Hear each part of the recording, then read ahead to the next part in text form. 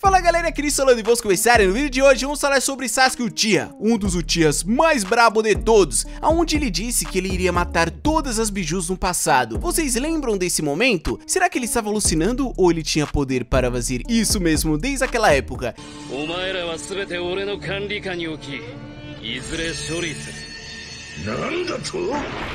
Então vocês vão descobrir tudo aqui nesse vídeo detalhadamente porque o Sasuke é o mais brabo de todos. Então antes de começar, é muito importante que você deixe seu like porque esse vídeo está muito épico e também se você for novo, se inscreva no canal para você não perder nenhum vídeo como esse aqui. Então galera, dá todo o recado, chega de enrolação e vamos direto ao vídeo.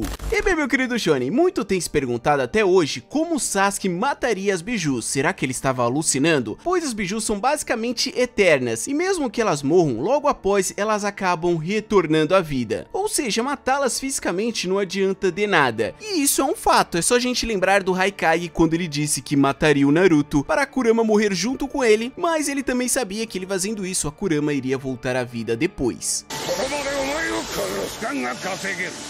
Então galera, como Sasuke faria isso? Como ele mataria todas as bijus como ele mesmo tinha prometido? Bem, talvez a resposta para isso a Kurama já tenha nos respondido. E foi no capítulo 55 do mangá, aonde a Kurama diz o seguinte, prestem atenção. Naturalmente, quando uma biju é extraída de um Jinchuriki, ele morre. Mas isso não se aplica a você agora, Naruto. O meu chakra acabou sendo zerado. Ou seja, galera, o que a Kurama quis dizer nesse exato momento é que o chakra dela tinha sido esgotado, zerado. Em outras palavras, não existia mais chakra da Kurama no Naruto, e nem na Terra. Então, literalmente, ela se foi. Então esse é o único jeito de matar uma biju literalmente, esgotando todo o chakra dela. E isso tudo pode estar nos explicando como Sasuke mataria todas as bijus lá em Naruto Shippuden. Antes dele lutar contra o Naruto lá no Vale do Fim, devemos lembrar que ele ainda possuía o seu Rinnegan. E como sabemos, o Rinnegan tem a habilidade de absorver o chakra. Tanto que ele fez isso para ficar de pé de igualdade contra o Naruto, nas duas vezes. Na primeira vez nós temos que lembrar que o Sasuke aprisionou as bijus no Shibaku Tensei, e além disso ele estava absorvendo o chakra de todas elas para fortificar deixar mais poderoso o seu Susanoo, mas ele acabou não zerando o chakra delas, pois se ele fizesse isso, ele tinha matado todas as bijus naquele exato momento como ele tinha prometido.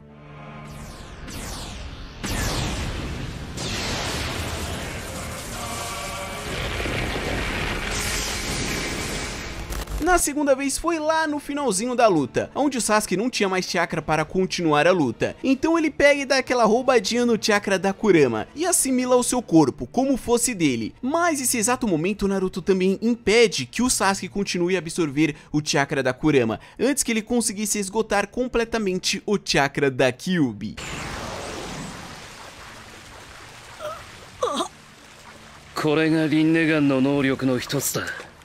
Então galera, como Sasuke tinha prometido lá em Naruto Shippuden que iria matar todas as bijus, esse seria o modo. Ele iria esgotar o chakra de todas elas, e ele teve a oportunidade de fazer isso duas vezes. Porém galera, voltando aqui à batalha entre Naruto e Sasuke, existe uma questão bem interessante aqui. A Kurama acaba dizendo que ela daria todo o seu chakra para o Naruto, e após isso, ela iria dormir. Então naquele momento a Kurama não esgotou todo o seu chakra, pois se ela fizesse isso, ela iria morrer, igual aconteceu no mangá.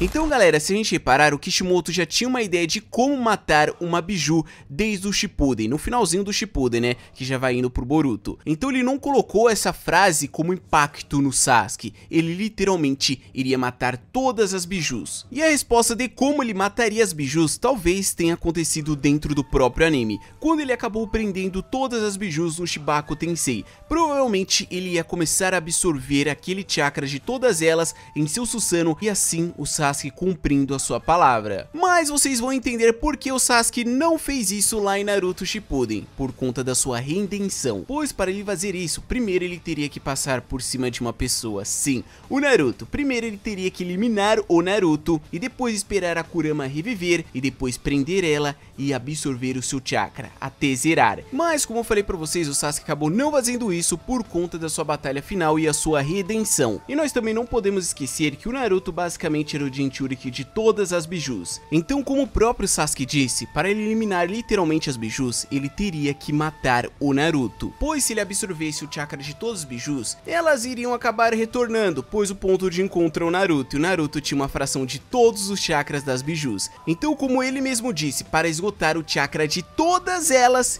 ele precisaria eliminar o Naruto. Ele teria que passar por cima do Naruto primeiro. 今やお前は美獣たち全員の人中力だ もちろん。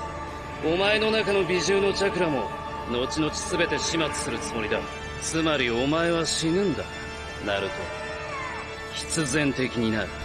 Se o Sasuke conseguisse fazer isso, as bijus literalmente não teria mais nenhum ponto de encontro e elas iriam renascer em algum lugar. Ele ia jogar um genjutsu nelas, iria prender um Shibaku Tensei e dessa forma ele poderia absorver o chakra até esgotar. Então o Sasuke sabia desde aquele tempo como matar uma biju, só que nós descobrimos só agora em Boruto. Então esse foi o vídeo explicando como o Sasuke mataria todas as bijus lá em Naruto Shippuden e eu espero que vocês tenham gostado. Se vocês gostaram é muito importante que vocês deixem seu like, deixe o gostei para dar aquela aquela fortalecida marota. E também, se vocês forem novos, não se inscrever no canal pra você não perder nenhum vídeo como esse aqui. Então, galera, muito obrigado pela sua audiência. Tamo juntos, até o próximo vídeo.